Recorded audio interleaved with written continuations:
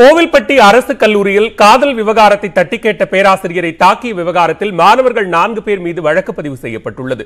தூத்துக்குடி மாவட்டம் கோவில்பட்டி கிருஷ்ணா நகரில் அரசு கலை மற்றும் அறிவியல் கல்லூரி செயல்பட்டு வருகிறது. இங்கு கணிதத்துறை மூன்றாம் ஆண்டு மாணவர் ஒருவர் உடன்படிக்கும் மாணவியை காதலித்து வந்ததாக கூறப்படுகிறது. இதனை கணிதத்துறை தலைவரான பேராசிரியர் சிவசங்கரன் கண்டித்தார். அத்துடன் சம்பந்தப்பட்ட மாணவ மாணவியின் பெற்றோரிடம் தெரிவித்துள்ளார். இதனால் ஆத்திரமடைந்த மாணவர் தனது நண்பர்கள் மூன்று பேருடன் சென்று பேராசிரியர் சிவசங்கரனை அவரது அறையில் வைத்து கண்மூடித்தனமாக தாக்கியதாக கூறப்படுகிறது. இதில் காயமடைந்த பேராசிரியரை சக பேராசிரியர்கள் மீட்டு கோவில்பட்டி அரசு மருத்துவமனையில் அனுமதித்தனர். மாணவர்களை நல்வழிப்படுத்தும் நோக்கில் அவர்களை கண்டித்ததால் தான் தாக்கப்பட்டதாக சிவசங்கரன் வேதனை தெரிவித்தார். மேலும் மாணவர்கள் தன்னை தாக்கிய சிசிடிவி காட்சிகளை போலீசார் அழித்து விட்டதாகவும் குற்றம் சாட்டினார்.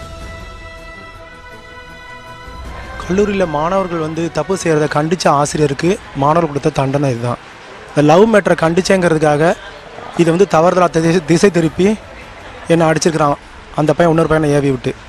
நாலு பேர் சேர்ந்து அடித்தாங்க என்ன பசங்களை வந்து கண்டித்தது தப்பு நம்ம அப்படின்னு தான் தோணுது. காவல்துறை வந்து புட்டப் எடுத்துகிட்டு போயிருக்கிறாங்க. கல்லூரியில் வந்து அந்த புட்டப்பை அழிச்சிருக்கிறாங்கன்னு சொல்லி சொன்னாங்க அவங்க வந்து. அது ஏன் தெரியல? என்னோடய கோரிக்கை இனிமேல் வருங்காலத்தில் இந்த மாணவர்கள் வந்து கண்டிப்பாக நிறையா கட்டுப்பாடுகள் இந்த கல்லூரிக்கு விதிக்கணும். மாணவர்கள் வந்து ஒழுக்கம் இல்லாமல் தான் நிறையா இருக்கிறாங்க. எங்களால் கட்டுப்படுத்த முடியலை.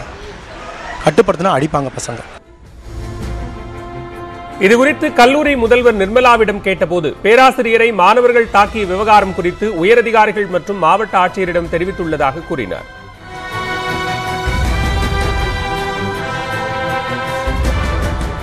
கல்லூரியில் காவல்துறை வந்து சிசிடிவி ஃபுட்டேஜ் எல்லாம் ஆய்வு பண்ணாங்களா?